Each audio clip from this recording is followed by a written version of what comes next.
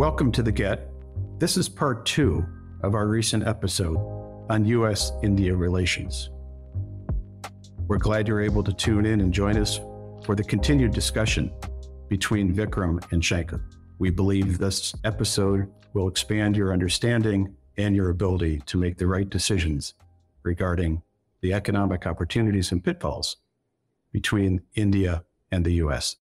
So let me flip the coin over now and ask you both about India business leaders' views of the United States as a destination for their investment and their intentions for growth. Can you talk a little bit about how Indian business leaders view the USA currently and its strengths and weaknesses as a destination for their investment? Maybe we can start with you on this, Shankar.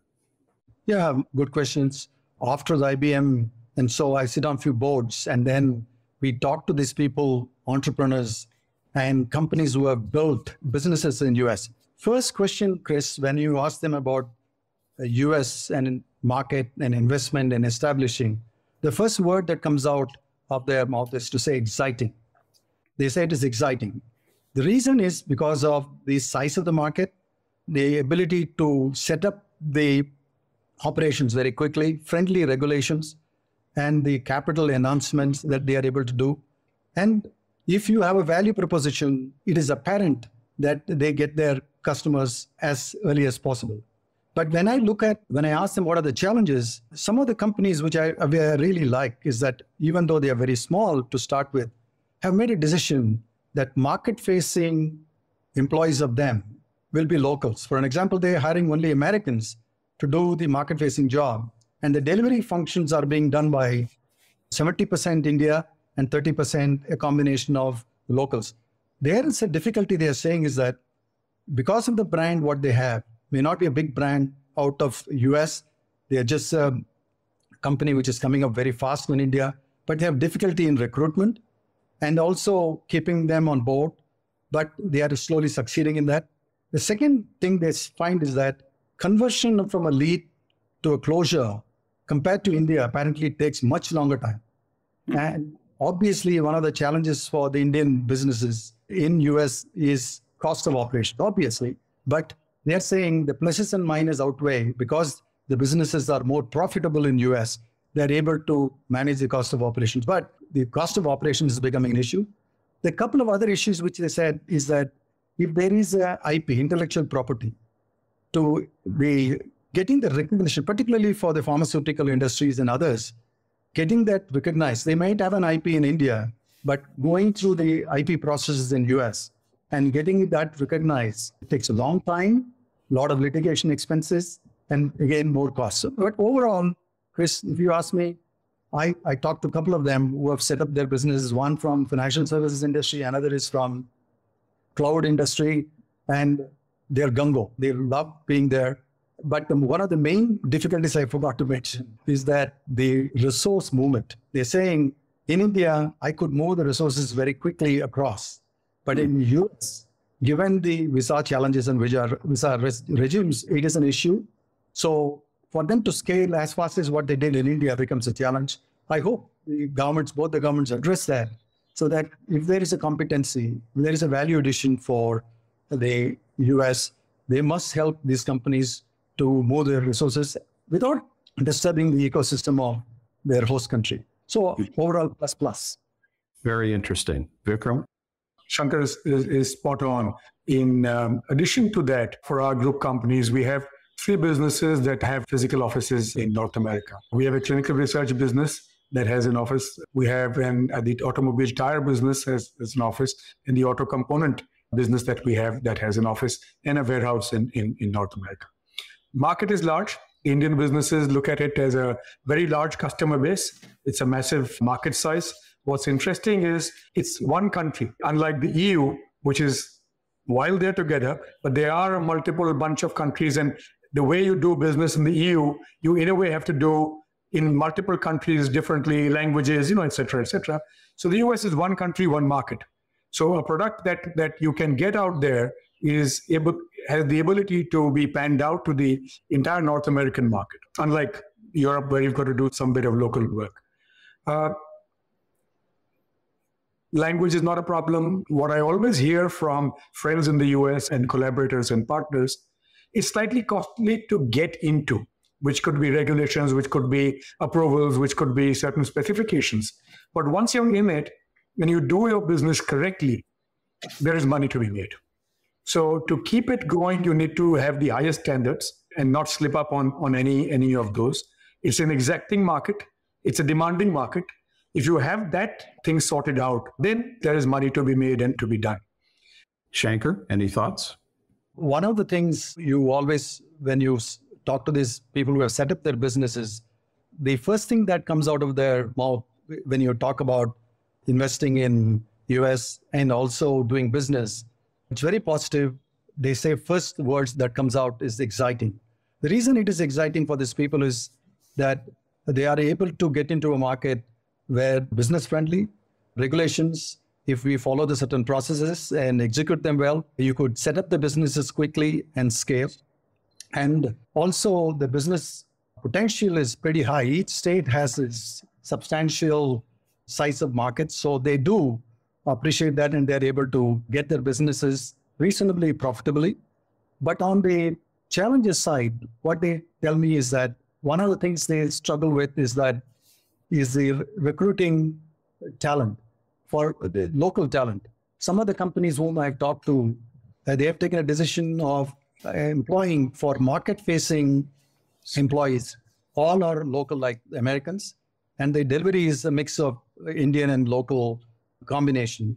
But when they have to recruit with a brand that may not be so popular in US, they do have some difficulties. But once they get in, they are able to employ them and go forward. The second difficulty they say is that with respect to closure of deals, particularly compared to India, from a lead generation to a closure, apparently it takes much longer time. And then obviously the cost of operations goes up. With respect to this, the third challenge is that linked to this, generally the cost of operations higher, but given that they make better profitability out of US, they are happy to deal with the issue and move forward. The next one is the uh, the movement of resources.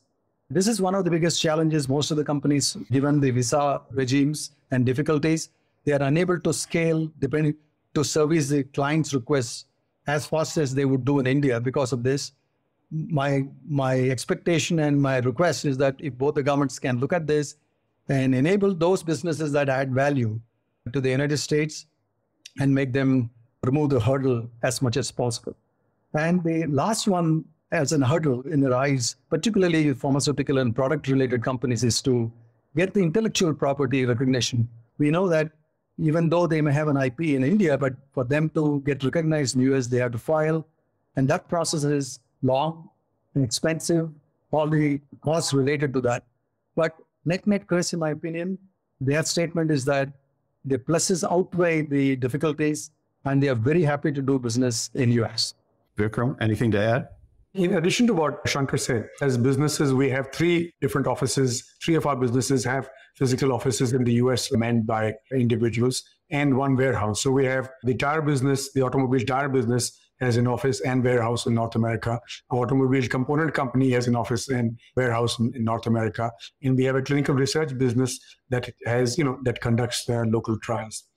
So the way we've seen it is initially it is slightly more expensive to get into to make sure that regulations are correct we, we meet all the standards the specifications are correct but once you set that up and you make sure you follow the correct processes and the correct uh, systems and methods and the highest quality there is money to be made. So the market is a large market. It is one market. It is one language.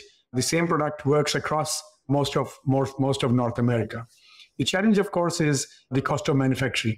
We are all used to a low cost of manufacturing in India, and that's why in our tire business, we set up a, a manufacturing plant in Mexico to supply to North America. Even in our auto component business, at this time, we're in the middle of setting up a plant in, in Mexico to be able to serve the North American market.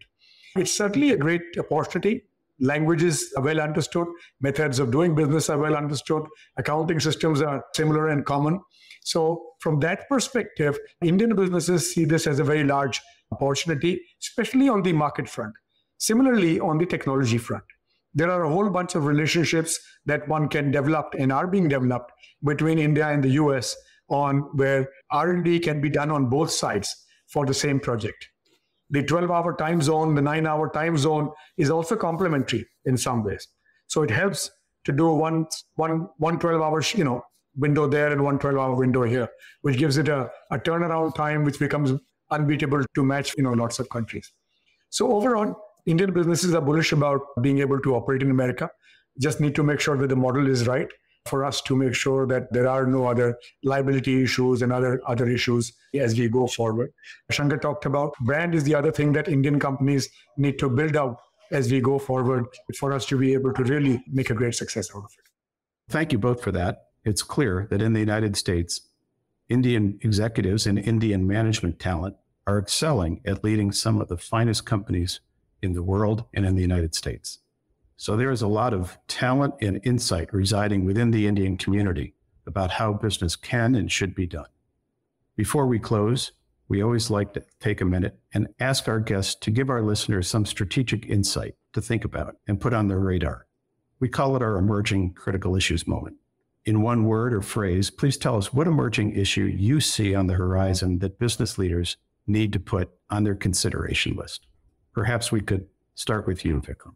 Sorry, I'll give you three, not one, which is because at this time is becoming an ambidextrous environment. Uh, technology and this whole digital disruption and what it means to my business, what it means to society, what it means to the millennials that, that work for us or consumes products. The other one is if you connect the dots globally, this whole social disruption so there are issues around haves and have-nots and the disparity of incomes, and there's a whole bunch of social disruption happening in every country around around the world, causing lots of local challenges from time to time. It erupts in different ways, and of course, you cannot miss thinking about what the impact of climate change. It is real. It is impacting us. And what does it do to societies? What does it do to countries? And what does it mean for us as businesses to think about how we mitigate against each of these three challenges or opportunities, whichever way you look at it. Thank you. Shankar, your thoughts? All points made by Vikram are very valid. I would only extend the technology aspect of it, which is in the top of the mind of most of the business leaders, particularly the whole topic of generative AI, machine language, and so on. The generative AI promises to make coming years as some of the most exciting years for artificial intelligence. But as with every new technology, business leaders must proceed with eyes wide open because the technology today presents many ethical and practical challenges, in my opinion. Before I go to those challenges, just look at already this generative AI is finding its uses.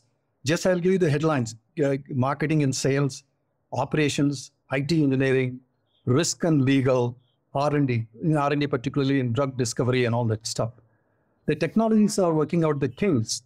Plenty of practical and ethical issues remain open. I'll just um, enumerate a few. Like humans, generative AI can be wrong. ChatGPT, for an example, sometimes hallucinates, meaning it confidently generates entirely inaccurate information, right? And then filters are not effective enough to catch inappropriate content. Systemic bias is still need to be addressed. Individual, if it is to be applied in the company, but I'm thinking this uh, gen- uh, generative AI, ML, and will come to play a much bigger role in the coming years in the companies. But individual companies, norms and values have to be reflected in that. And it, it cannot be bypassed, then will, we'll have a major problem. Last, I would leave it on the table is the intellectual property questions are up for debate. When a generative AI model brings forward a new product design or idea based on user prompt, who can lay claim to it? So what happens when it plagiarizes a source based on training data? So in my mind, and top of my mind, and when I talk to leaders, is that great potential for generative AI. Already we know AI, ML, data analytics is playing a huge role. I'm already seeing it in the industries. But going forward, the world has to look at this much more carefully. But I think there is a transformation time coming in the near future, Chris. Well, thank you both. And for our listeners, We've had an episode on generative AI recently with Tom Friedman and Sam Palmisano, so I encourage you to listen to it. And Vikram and Shankar, thank you for being with us today and for your time and insights. I'm sure we'll come back to a number of the topics you've mentioned in future shows. You have been listening to The Get, sponsored by the Center for Global Enterprise, celebrating 10 years of convening global enterprise leaders around the most important business transformation.